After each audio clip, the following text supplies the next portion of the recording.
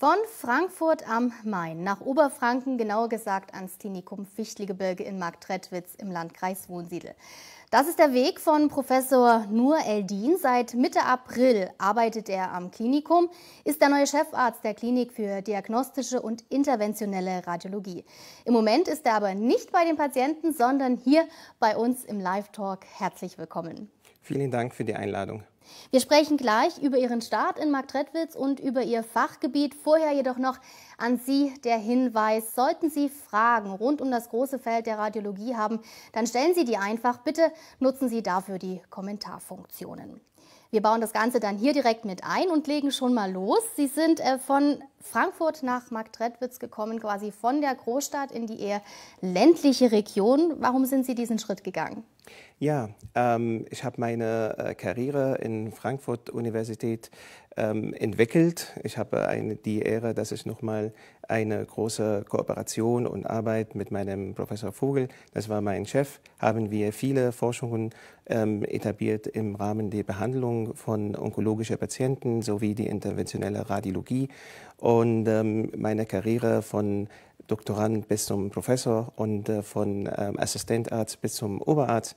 Und dann kam die richtige Entscheidung Richtung äh, Leitung und Chefarzt zu werden. Mein großes Ziel ist es, ein tolle Work-Life-Balance ähm, zu erreichen. Und ähm, in Margretwitz und Klinikum Fichtelgebirge, da habe ich nochmal ähm, die, die Zeit für mich mit der Natur zum ähm, Genießen. Ähm, die Ecke ist da wirklich wunderbar. Und das Klinikum hatte eine tolle Infrastruktur und eine Plattform, da kann ich nochmal meine ähm, innovative ähm, Technologien im Rahmen der interventionellen Radiologie sowie die diagnostische Verfahren mit Kollegen nochmal etablieren und weiterentwickeln. Das kam für mich allererste Priorität für die Entscheidung. Und können Sie sich auch vorstellen, jetzt nach den ersten zwölf Monaten länger hier zu bleiben in der Region? Ja, gerne. Ähm, ich habe äh, in zwei Monaten habe ich eine große Unterstützung von der Verwaltung, von der ärztlichen Direktor und Geschäftsführer, sowie ähm, ich fühle mich äh, komplett wohl von alle Kollegen und Chefärzte, die brauchen eine große äh, Unterstützung im Rahmen der Radiologie.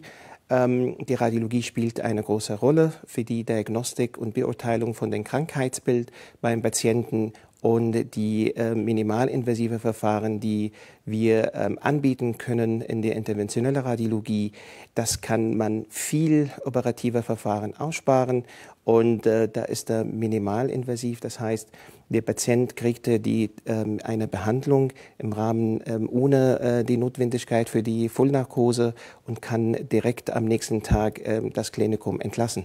Mhm. Bevor wir ähm, direkt auf die Radiologie eingehen, noch eine Frage äh, zu Ihrer Arbeit hier. Was sind denn Ihre Ziele mit, äh, mit Ihrer Arbeit hier am Klinikum Fichtelgebirge? Ja, ähm, ich bin ähm, immer äh, unter äh, Erfolgdruck, ähm, will ich immer ähm, meine, äh, meine Arbeit immer ähm, äh, korrekt und wie erfolgreich zu haben. Und äh, mein Ziel ist, dass die ich eine, meine Kompetenz, Engagement sowie Freund, äh, Freundschaft nochmal in dem, im Klinikum hier nochmal einsetzen, dass wir nochmal eine sehr gute äh, Leistung medizinisch für den Patienten anzubieten und ähm, eine ähm, top, ähm, wie weit wie möglich, ähm, eine äh, beste äh, radiologische von Befundung sowie nochmal von äh, Therapie nochmal an unseren Patienten anbieten können. Sie sind der neue Chefarzt der Klinik für diagnostische und interventionelle Radiologie. Sie haben es schon mal ein bisschen angesprochen, aber dass wir das den Zuschauern noch mal ein bisschen äh, genau erklären. Was bedeutet diagnostisch und was bedeutet interventionell? Radiologie hat zwei großen Anteile. Diagnostische Radiologie ist die Beurteilung von Krankheitsbild. Jede äh, äh, Krankheit hat eine pathologische Veränderung oder Veränderung von der Organstruktur. Wenn wir nochmal durch die Bildgebung beim CT, MRT, Röntgen, Ultraschall, kriegen wir eine pathologische Veränderung. Und der Radiologe hat das in, ähm, immer in der Weiterbildung und im Lernphase immer die, das Bild ähm, kennengelernt und kann direkt eine Beurteilung oder Diagnose, was ist von einer Krankheit. Zum Beispiel kommt ein Patient, hat er nochmal äh, Gewichtverlust, dann brauchen wir eine Diagnose. Hat er den Tumor oder nicht? machen wir eine CT-Untersuchung, dann wir sehen einen Tumor, dann können wir sagen, was, wo liegt dieser Tumor, was es hat von Größe, gibt es eine äh, fortgeschrittene Infiltration oder Ausbreitung in der Region, gibt es Fernmetastasen woanders, dann das heißt die diagnostische Verfahren von der Radiologie. Ähm, anders auch beim Patienten, da hat er nochmal ähm, Gefäßverschlüsse, machen wir eine MR-Angiografie oder CT-Angiografie, dann sehen wir die Gefäße, die wo geschlossen sind. Das ist alles diagnostisch, haben wir eine Beurteilung von der Krankheit von dem Patienten. Aber die Nutzung von dieser Bildgebung, gesteuert bei, für die Therapie minimalinvasiv, ist die interventionelle Radiologie. Das heißt, ein Patient hat Gefäßverschluss, wenn wir nochmal einen Katheter reinbringen unter die Durchleuchtung und machen wir eine ähm, äh, Auflösung von diesem ähm, Verschlussmaterial beim Thrombose, dann wird das Gefäß wieder geöffnet, ganz minimal invasiv mit lokaler Betäubung, dann das ist die interventionelle Radiologie. Wenn ein Patient hat einen Tumor in der Leber und dann wir nochmal mit Katheter gezielt im Bereich dem Tumor die Chemotherapie lokal applizieren und nochmal die Behandlung von dem Patienten bei dem Tumor, das ist eine, in, ähm, die interventionelle Radiologie. Falls ein Patient einen Abszess hätte im Bauch und wir nochmal mit einem kleinen ähm, Drainage oder Schlauch im Bereich dieser Abszess, damit wir den ganzen Eiter außerhalb dem Körper ohne die Notwendigkeit von den, äh, dem Messer von den Chirurg ähm, rein, ähm, das ist minimalinvasiv. Und wir haben eine Zugänge ganz ähm, kleiner Schnitt, 1 mm oder 2 mm. Ähm, und dann wir können viele äh, ähm, Krankheit äh, behandeln und ähm, die Sache keine Notwendigkeit für die der sofortige äh, Ergebnisse und, äh, von der Therapie und da kann der Patient im Rahmen von Stunden das Klinikum verlassen. Wir wollen noch ein bisschen weiter in die interventionelle Radiologie ähm, einsteigen. Der Sendungstitel ist ja von Tumorbekämpfung bis Schmerztherapie die vielfältigen Facetten der interventionellen Radiologie. Zum Beispiel auf dem Gebiet der Frauenheilkunde kommt die zum Einsatz. Ähm, gutartige Tumore können so behandelt werden. Vielleicht können Sie da mal ein bisschen näher darauf eingehen, was da geleistet werden kann. Ähm, einer der häufigsten gutartigen Tumoren, äh, die ähm, Frauen betreffen, könnte, ist die äh, Myomen. Und die Myomen, die sind gutartig. Das trifft äh, circa von 30 bis 50 Prozent aller Frauen. Und da hatte äh, verschiedene Größe von 2 Millimeter bis zum eine so 10 oder 15 Zentimeter oder sogar mehr. Und die können einzeln oder mehrere die Damen in, äh, mit äh, Myomen haben verschiedene ähm, Beschwerden. Zuerst Unregelmäßigkeit von der Periode oder eine starke Blutung. Ähm, und das kann auch für längere Tage dauern. Und äh, wenn der, ähm, die Tumoren groß sind, die können nochmal drucken an den Nebenorganen, zum Beispiel die Harnblase. Und äh, die können auch ein Probleme äh, während den ähm, Geschlechtsverkehr beim Schmerzen zum Beispiel. Die Behandlung haben wir verschiedene gemäß den Tumorlokalisation und auch die Größe. Kann man auch endoskopisch entfernen, wenn da liegt an der Schleimhaut oder ähm, durch eine äh, Bauchspiegelung, ähm, wenn der liegt ähm, an dem äußeren Rand von dem Gebärmutter. Aber wenn der tief liegt, dann muss die äh, Gynäkologe entweder einen Schnitt durch den Wand von den Gebärmutter und diese äh, Myom entfernen oder die ganze Uterus raus. Das ist ein Riesen-Challenge und Problem beim ähm, Frauen ähm, zwischen 30 und 40 Jahre alt. Die wollen sicher ihre Gebärmutter nicht entfernen lassen. Und in dem Sinne immer mit Kontakt und ähm, ähm, Gespräche mit dem Patienten sowie mit dem Kinokologen können wir eine Therapie durch die Embolisation machen.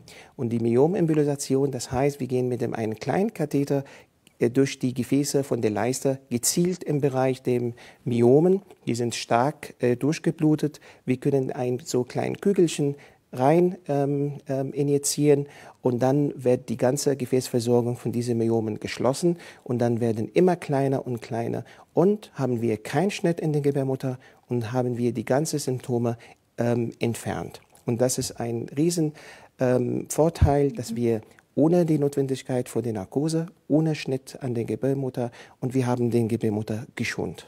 Etwas Ähnliches gibt es ja auch ähm, für die Männer, für die Männergesundheit, ähm, da speziell bei der Prostatavergrößerung. Was kann da gemacht werden? Ähm, zum Glück haben wir in unserem Klinikum hier ein Riesenzentrum ähm, für die Urologie und wir haben die ganzen äh, Optionen für die Therapie von Prostata. Und ähm, jetzt ähm, durch die interventionelle Radiologie, wir können nochmal eine ein, ähm, Option für die Patienten anbieten, ist diese auch die Embolisation von den ähm, Arteria Prostata, also Gefäßversorgung von der Prostata, damit wir eine Verkleinerung von der Prostata durchführen und die Drucksymptomatik an den ähm, äh, die Harnröhre nochmal ähm, zum Erleichtern, meisten äh, Patienten ab 50 Jahre alt, die Männer, die haben immer die Anfang von den Problemen mit dem ähm, Vergrößerung von der Prostata hormonell bedingt und dann äh, kriegen immer Probleme meistens in der Nacht. Die müssen noch mal fünf, sechs Mal ähm, noch mal äh, für die Injektion. Und das macht eine Schlafstörung. Und durch diese ähm, Embolisation, wir haben die Prostatafunktion geschönt, da hat er keine ähm, Nebenwirkung ähm, ähm, an der Sexualität von dem ähm, Patienten. Und äh, dann kriegt er der Patient der Drucksymptomatik komplett weg. Und in dem Sinne, ähm, da hat er keine Notwendigkeit ähm, ähm, und da kann nochmal ähm, diese ähm, Probleme, ähm, ähm, äh, Symptome frei.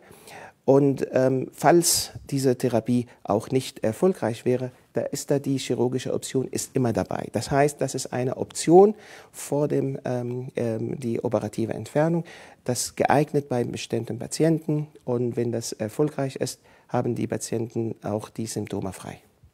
Die nächste Facette der interventionellen Radiologie führt äh, uns in den Fachbereich der Anästhesie. Auch da äh, kann sie zum Einsatz kommen, beispielsweise bei Menschen, die Vollnarkose aus bestimmten Gründen nicht bekommen können. Vielleicht können Sie da ein bisschen näher darauf eingehen. Ähm, die ähm, im Rahmen der Anästhesie, da sind ähm, Vollnarkose ist da immer die, die, die, ähm, die Entscheidung bei den groß, äh, großen Operationen. Da haben wir nochmal ähm, ähm, die Notwendigkeit für die Vollnarkose. Bei die minimalinvasive Verfahren, die Therapie ist nur unter lokaler Betäubung, falls der Patient ähm, äh, hatte nochmal massiven Panik oder ähm, die fehlende Compliance, da kann nicht äh, mitmachen, dann ist die ähm, lokal, äh, die, die Vollnarkose ist eine Option. Ähm, bei die, äh, durch die Bildgebung können wir nochmal den Katheter ähm, einsetzen. Wir können nochmal die Zentralkatheter ähm, äh, nochmal anbieten und ähm, auch die Patienten für die Drainagenanlagen ähm, postoperativ. Da können wir immer nochmal eng äh, zusammenarbeiten mit den Kollegen von der Anästhesie und der Intensivmedizin. Mhm. Ein Einsatzgebiet ähm, hat mich als Laie ein bisschen überrascht, dass es auch im Bereich der Orthopädie zum Einsatz kommen kann, die interventionelle Radiologie ähm, in der Schmerzbehandlung. Wie genau kann es da helfen? Schmerztherapie ist immer wichtig beim Patienten, die, die haben ähm, generative Veränderungen und ähm, Arthrose beim Gelenke. Das trifft am meisten entweder die Wirbelsäule oder nochmal die Gelenke, wie bei zum Beispiel Kniegelenk, ähm, die Hüfte und auch dem Schultergelenke.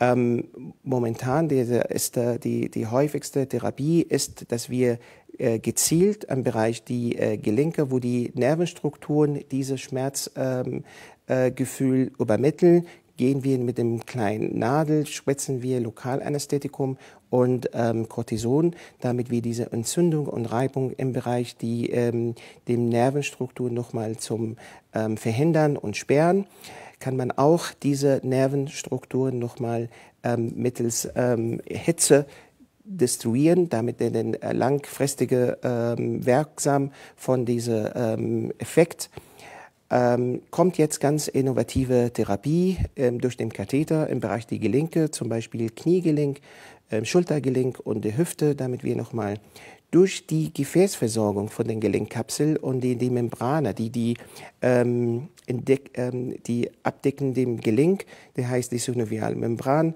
die können wir nochmal ähm, bestimmte ähm, Embolisats äh, oder äh, Verschlussmaterialien verschließen, damit wir diese ganze äh, Nerven ähm, äh, Strukturen, die die, die Schmerzübermittel ähm, verhindern von langfristiger Zeit.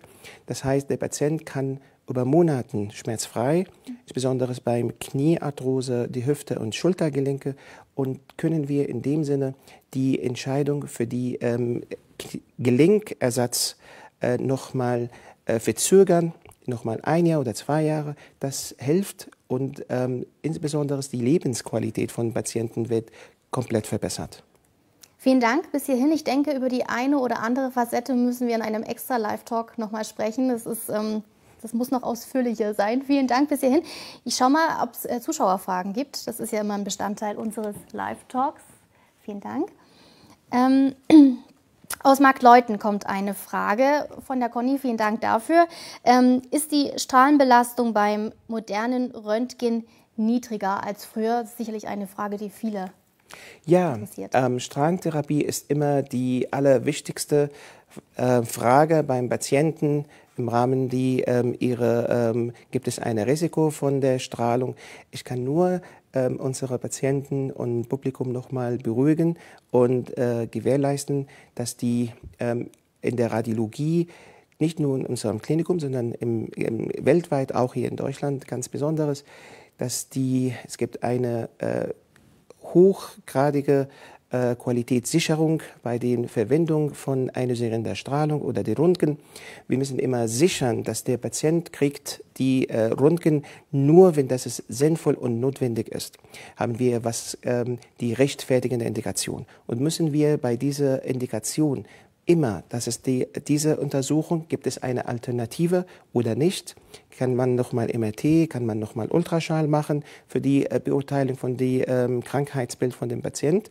Und falls es gibt, können wir nochmal diese Strahlung ähm, für, ähm, sparen. Falls nicht, dann haben wir die Einstellungen beim Gerät. Die Geräte sind topmodern, die haben ganz automatisch ähm, und die machen die, ähm, die Ausmessung von den ähm, Strahlung, die die wirklich nur die beste Bildqualität mit die niedrigste Strahlung. Und die Risiko davon ist fast ähm, ähm, in Richtung Null. Man ähm, ist immer dabei, sicher, müssen wir immer besondere äh, Risiko haben beim Kinder, beim ähm, Frauen, beim, ähm, während der Schwangerschaft. Aber machen wir immer so, äh, legen wir Schürze, legen wir nochmal ähm, die einblenden, damit wir nochmal keine Extrastrahlung an anderen Regionen von dem Körper. In dem Sinne, ich kann nur der Patientin sichern, dass die Risiko von ähm, äh, Strahlungsbelastung ist sehr, sehr, sehr niedrig. Vielen Dank für die umfangreiche Aufklärung heute und Ihnen vielen Dank fürs Zusehen. Der kurze Hinweis, wir machen jetzt eine kleine Sommerpause. Ab September geht es weiter, aber selbstverständlich können Sie bis dahin Ihre Fragen stellen. Nutzen Sie weiterhin die Kommentarfunktion. Die Ärzte hier am Klinikum beantworten Ihre Fragen sehr gerne. Bis zum nächsten Mal. Tschüss.